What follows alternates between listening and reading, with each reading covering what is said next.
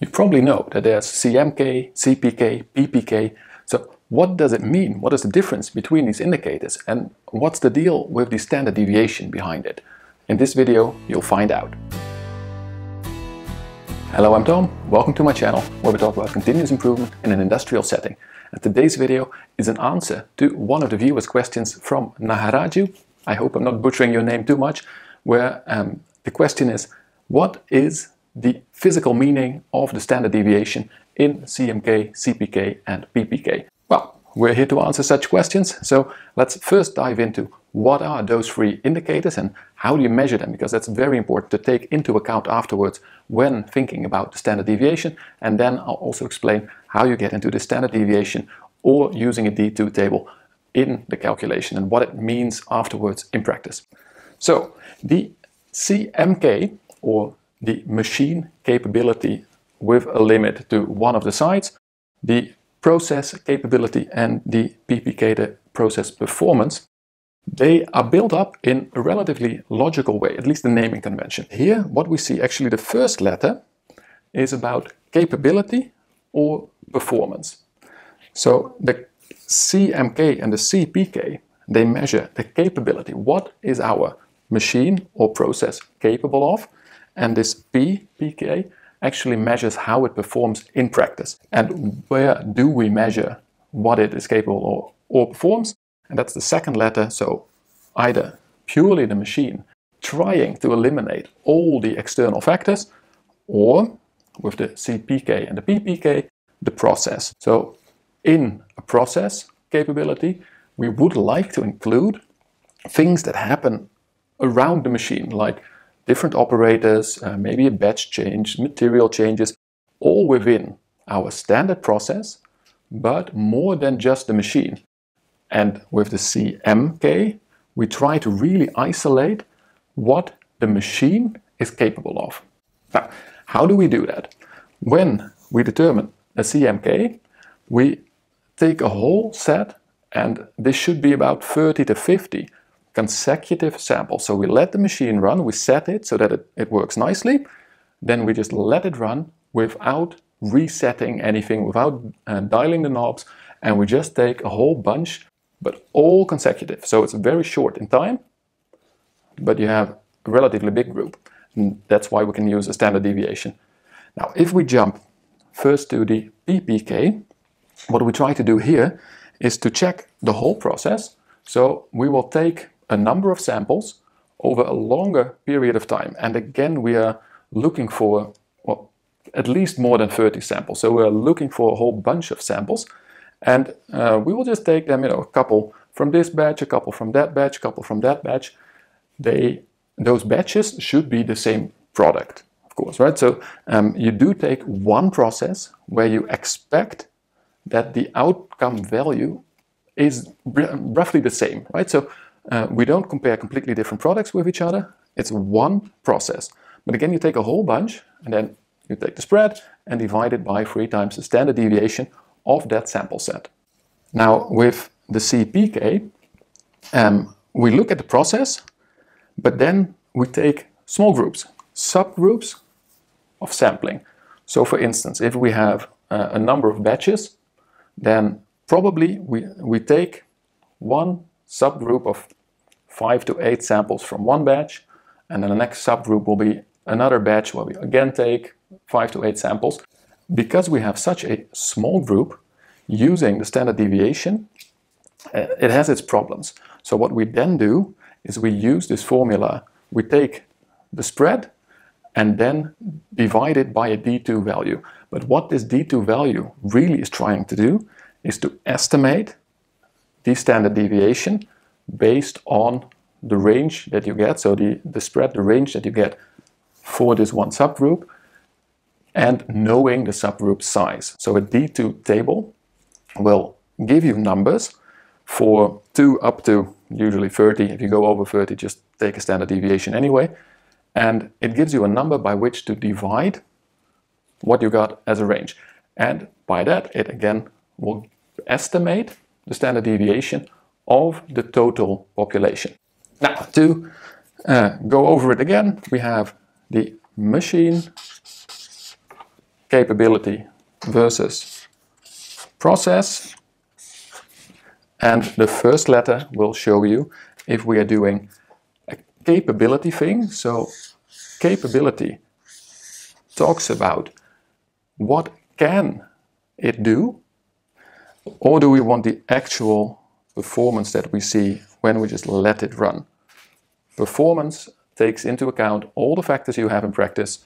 Capability takes into account as little as possible. So we really want to focus on either the machine or one whole process. Now, when we know this, let's go over and check how you get the standard deviation into this.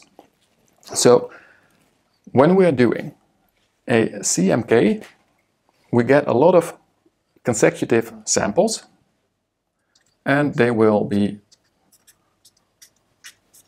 somewhere like this in time. And then what we do is we check from this what is the average and what is the standard deviation. So there is an average in here. Let me just take another color. There is some average in here. Uh, we do know what the spread is, and from this spread, we calculate a standard deviation. And the standard deviation you will see will then give us a graph that will be wider than the highest and lowest values. And this is because we take a sample from our population and we are estimating the standard deviation of the entire population. And basically what the statistics tell us is, well, you likely got your samples somewhere from the middle because there's a high probability, the closer you are to the center, the higher the probability.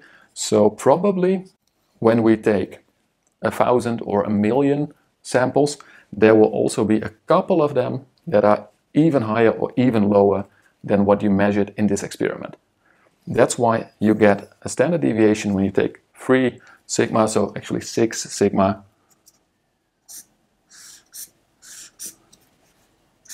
plus 3 sigma or minus 3 sigma.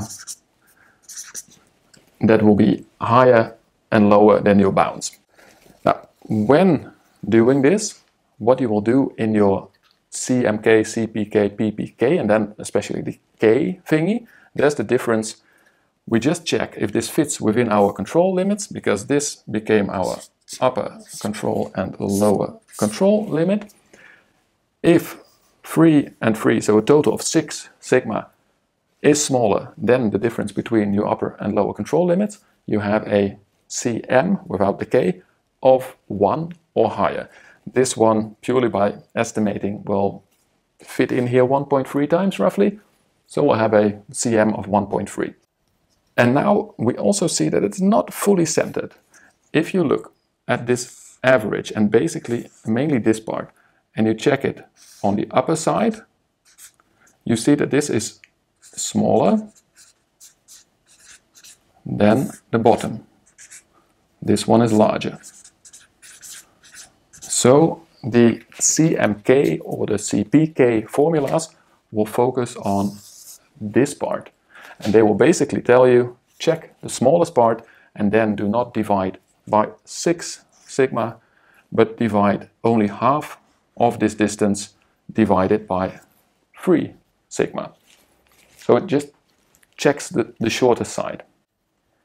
Now, when we're talking about machine capability or process capability or process performance, there are basically different ways of sampling. So these were all consecutive. What you will do uh, when you launch it into normal process conditions, so we're going for CPK or PPK, is that you take subgroups. So you will say one sample is a number of values. Second sample is a number of values. Third sample also. And what this does is it takes, if we check the capability, just one set, so the CPK, and if we take the PPK, it takes everything. And there is a, a, small difference here in how you calculate it. The CPK will check the spread you have here. So this spread here, and makes a small check, so a small standard deviation estimation, and there it will say, from only my subset, I take this difference and I divide the difference, so the spread basically, and I divide it by my range divided by a D2 value. But this is sort of an estimation for, again, your sigma, an estimation for your sigma.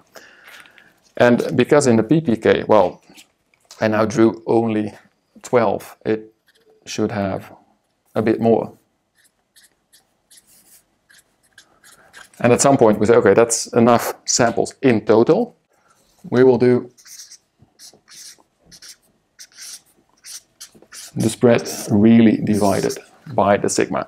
Do not take these formulas, by the way, they are not complete formulas. It is free sigma, the, the spread is calculated in a certain way, but this is what it is trying to do. So you take the measure of spread, and here what we do is we say, well, it's this whole thing, because all of the samples are in there, and we take also, also the standard deviation of every sample we took. Now, that's a lot of statistics, quasi-statistics. How does this help you? An example, say we are uh, we're filling milk cartons. The machine capability is if you set the machine to fill your one liter milk cartons, just let it run and you measure 50 milk cartons. Is there exactly one liter in there or not? How much spread do we see? Can this filling machine give us exactly one liter of milk in each carton or not? Then, uh, and we compare that to the control limits that we set. Maybe we accept plus or minus um, 10 centiliters. When we go to process capability, what we do is basically every day from each batch of milk cartons, but this may be four or eight hours of production, but the production was continuous, we take 10 cartons. And we check those 10 cartons and we check how much is the spread. So how close are they all to one liter? And we check it for today's batch. We check it again for tomorrow's batch, but that is already a different sample group. So each sample group is a number of cartons from the same batch where, well, we probably changed cartons somewhere uh, halfway through Maybe we changed operators from one to the next shift, but the probability that the machine was reset is very low. I mean, we do not go over an entire cleaning step. This is one production run, and we just take a number of cartons from somewhere across the production run. Do not take them straight after each other. So do not take consecutive cartons. That's more for the machine capability. And if we want to know the process performance, so the PPK, we take over a number of days cartons from different batches. And in this case, we try to get quite a lot, for instance, again, 50. And for those 50, we check how close were they to one liter, and we take then the standard deviation as a comparison. And that's when we interpret these numbers. So first of all, we know that if the 6 sigma or 3 sigma here fits exactly within the control limits, we are talking about a value of 1. So CMK of 1 or uh, a PPK of 1, they all have the same way of talking about this number. So 1 means your smallest side is exactly 3 sigma away from one of the control limits. And this basically means that you get something like 0.1, 0.2 uh, defects per million, uh, sorry, percent. So 0.1, 0.2% defects. When the CMK increases to about 2, um, more than 2 is usually not needed. In fact, 2 is exactly 6 sigma, because you'll have 6 that way, 6 that way, and even the smaller side has 6 sigma of uh, difference between the average and one of the control limits. So then we basically never get into trouble. There is a reason why we still want a higher than 1 CPK, and that is uh, with the 1 CPK, maybe you say it's not acceptable to have 0.1, 0.2% defects, but in many industries this would not even be so bad. The problem is in the 1.5 sigma shift. So what we um, often say is that only when the process really shifts by about 1.5 sigma can your systems, your control charts, notice this. So what happens when this process shifts by 1.5 sigma? If you have a CPK of 1, you suddenly don't have 0.1% of defects, you get about 7% of defects.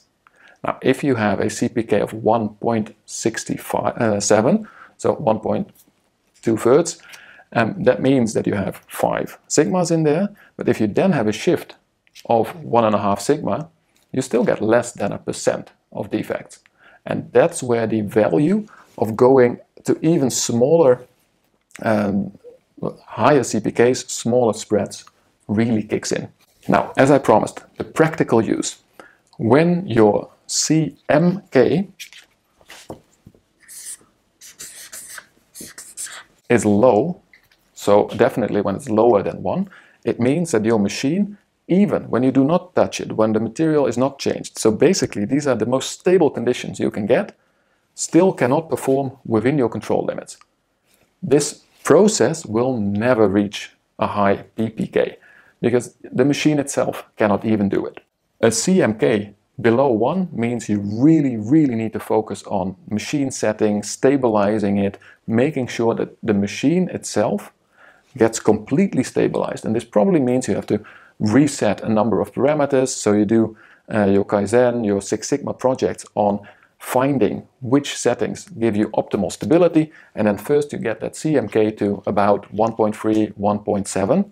CMK of 2 is very nice because if it gets significantly higher than 1, preferably the 1.6, then the machine under very stable conditions can perform well within your control limits. Then we move on to the CPK, so the capability of the process.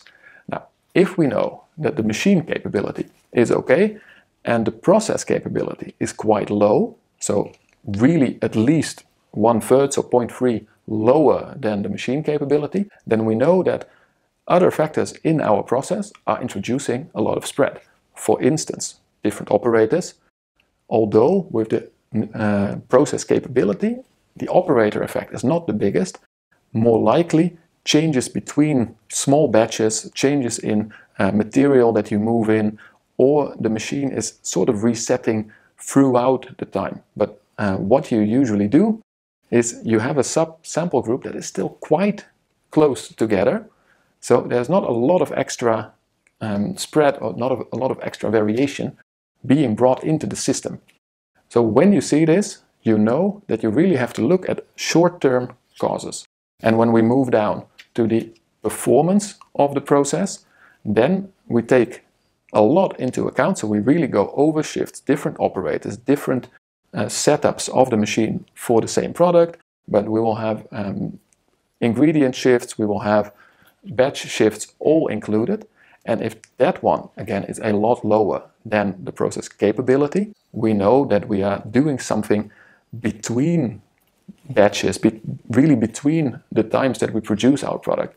For instance, we cannot really set up the machine in the same way every time, or each time uh, the parameters shift a bit and operators really have to search for optimal settings every time that they again make a certain product. So then we really check the basic stability of our process in a much longer term scale, really between batches.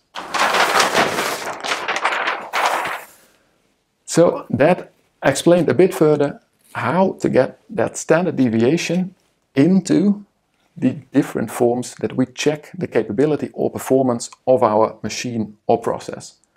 Now, the statistics behind it, um, it, it might require its own video, but I think it is better that you first understand what are we trying to check on what part of our machine or process, which sample groups do we take? And then logically from that, we take the statistics that fit with these sample groups and these testing goals. One thing I will say is all three are useful and you start with the machine capability. If this is not good, you don't need the rest yet. Make sure that one is okay. This is nice at a batch level and this is especially useful to compare how good you do between batches, how stable your entire organization is and hitting the goal every single time. So I hope you liked this extra explanation. I also hope it answered your question. If it did, don't forget to hit that like button, subscribe if you haven't done so already, and please let me know in the comments, in the questions below, if you have additional questions, because as you see, I'm happy to explain. For now, I wish you the best of luck with your Six Sigma, checking your process capability, but also as always, enjoy your continuous improvement journey.